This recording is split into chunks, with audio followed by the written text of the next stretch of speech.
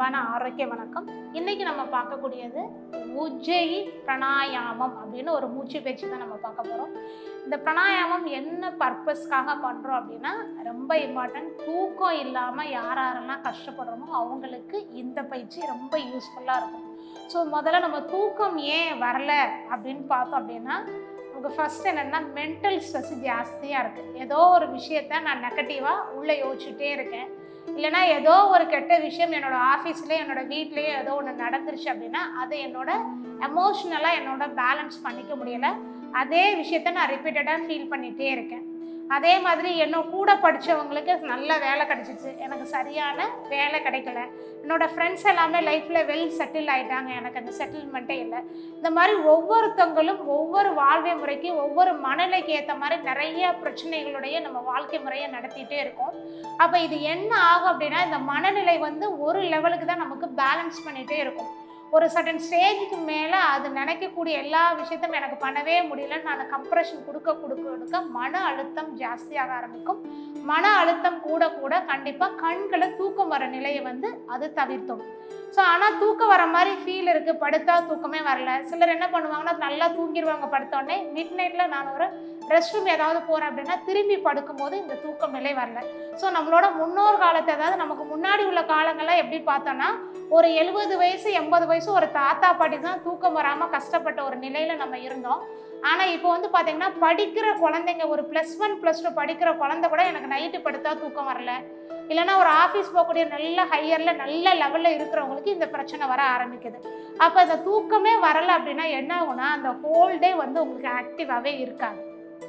ஏன்னா நைட்டு தூக்கம் அப்படிங்கிறது ரொம்ப ரொம்ப ரொம்ப முக்கியமான தூக்கம். ஏன்னா நைட்டில் மட்டும்தான் நம்மளோட முக்கியமான ஆர்கன்ஸ் எல்லாமே வேலை செய்ய ஆரம்பிக்குது.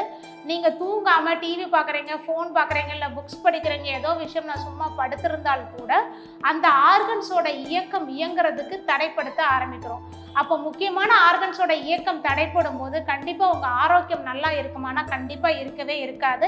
அதே மாதிரி நைட்டு தூக்கம் குறைய குறைய என்ன ஆகுனா அவங்கள பார்த்த உடனே ஒரு ஃப்ரெஷ்னஸ் தெரியாது. கண் வந்து ரொம்ப டல்லாக இருக்கும். கண்ணை சுற்றி நமக்கு டார்க்லிங்ஸ் வர ஆரம்பிக்கும். கண்ணை சுற்றி கருவளையம் இருக்குது அப்போது ஒரு ஆளை பார்த்த உடனே நமக்கு first impression the best impression அப்படின்னு சொல்லுவாங்க. ஒரு நம்மளோட முகப்பொழிவு இல்லை அப்படின்னாலே நமக்கு அது ஒரு பெரிய மைனஸ் பாயிண்டாக அமைய ஆரம்பிக்கும். அதே மாதிரி உயர் ரத்த அழுத்தம். ஸோ இது பிளட் பிபி அதாவது பிளட் ப்ரெஷர் இருக்கிறவங்களுக்கு வந்து இந்த பயிற்சி ரொம்ப யூஸ்ஃபுல்லாக இருக்க ஆரம்பிக்கும். அதே மாதிரியாக நம்ம உடம்புல இருக்கக்கூடிய ஹீட்டு எப்போ நான் வந்து தூக்கத்தை ரொம்ப கம்மியாக தூங்கிக்கிட்டே இருக்கேன்னா அப்போ உடல் சூடு வந்து அதிகமாகும்.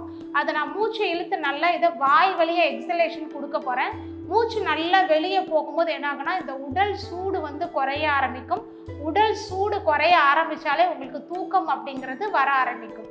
ஸோ அதாவது நம்மளோட நார்மல் இயக்கமே பாருங்கள் காலையில் எழுந்திருக்கும் போது நம்ம சூரியன் வர ஆரம்பிக்கும் சூரியன் அப்படின்னாலே சூடு.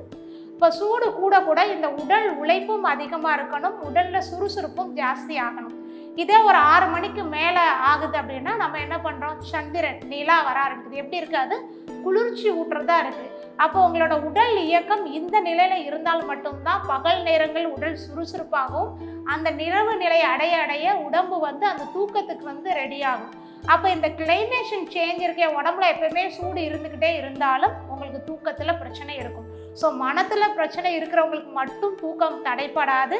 உடல் சம்மந்தப்பட்ட பிரச்சனைகள் இருக்கிறவங்களுக்கும் கண்டிப்பாக இந்த தூக்கத்தில் பிரச்சனை வர ஆரம்பிக்கும். பட் இப்போ நம்ம கற்றுக்கிற உஜ்ஜயி பிரணாயம் மூலியமாக இந்த எல்லா பிரச்சனைக்கும் சிம்பிளாக ஒரு தீர்வு கிடைக்கும். பண்ணக்கூடிய விஷயமே பார்த்தீங்கன்னா நம்ம ஆல்ரெடி எடுத்துகிட்டு இருக்க இன்னேல் அன்னை எக்ஸேல ஈஸியான வேலை பண்ண போகிறோம் ரொம்ப சிம்பிள் சொல்யூஷனில் இந்த ப்ராப்ளத்தை சால்வ் பண்ணிக்கலாம். ஸோ ஆல்ரெடி நான் பிராணாயாமம் எல்லாமே சொல்லியிருக்கேன். ஒரு நாலு ஆசன பயிற்சி முறைகள் உங்களுக்கு சொல்லியிருக்கேன். பத்மாசன் சுஹாசன் வஜ்ராசன் சித்தாசன்.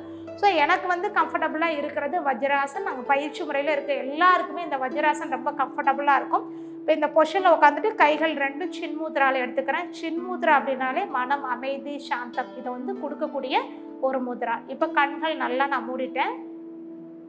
நோஸ் வழியாக இன்ஹேல் பண்ணி மவுத் வழியாக எக்ஸேல் கொடுக்க போகிறேன் breathe in through nose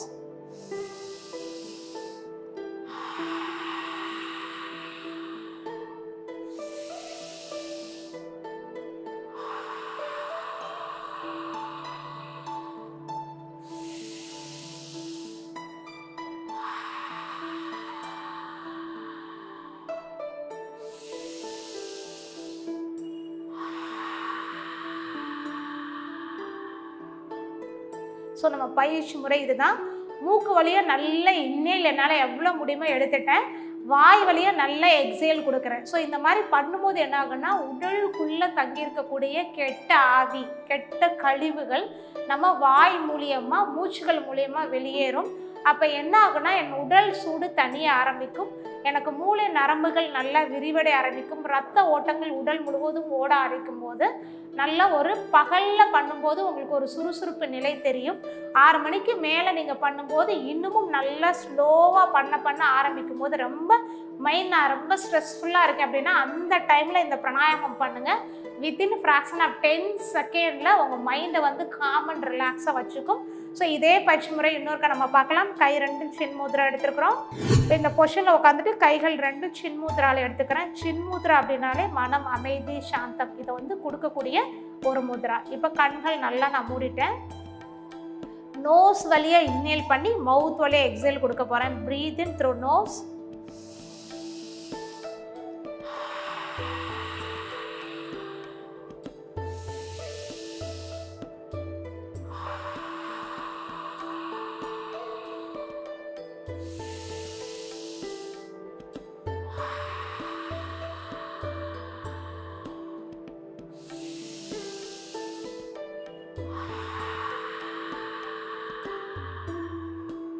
முதுகு தண்டு கண்டிப்பாக நேராக இருக்கணும். Breathe in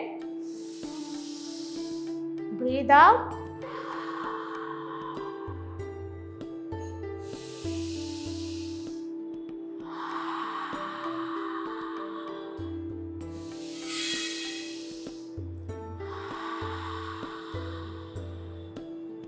relax முடிச்ச உடனே டக்குன்னு கண்ணை திறக்கக்கூடாது.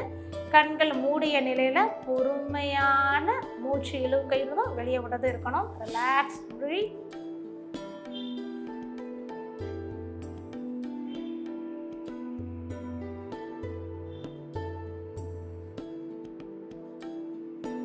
டக்குன்னு கண்களை திறக்காம கைகள் ரெண்டையும் பாம் ரெண்டையும் நல்லா அழுத்தம் கொடுங்க லைட் ஹீட்டு கிடைக்கும்.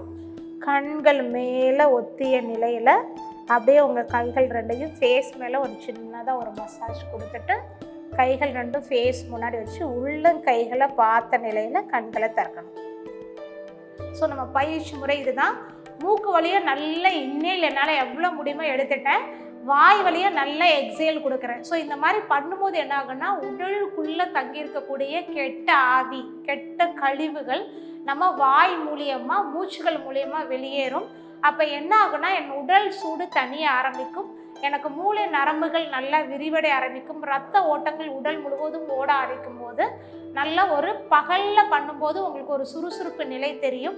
ஆறு மணிக்கு மேலே நீங்கள் பண்ணும்போது இன்னமும் நல்லா ஸ்லோவாக பண்ண பண்ண ஆரம்பிக்கும் போது ரொம்ப மைண்ட் நான் ரொம்ப ஸ்ட்ரெஸ்ஃபுல்லாக இருக்கேன் அப்படின்னா அந்த டைமில் இந்த பிராணாயாமம் பண்ணுங்கள் வித்தின் ஃப்ராக்ஷன் ஆஃப் டென் செகண்டில் உங்கள் மைண்டை வந்து காமன் ரிலாக்ஸாக வச்சுக்கும். ஸோ இந்த பயிற்சி முறை எல்லாருக்குமே பிடிச்சிருக்குன்னு நினைக்கிறேன். கண்டிப்பாக எல்லாருக்குமே இது ரொம்ப யூஸ்ஃபுல்லாக இருக்கும்.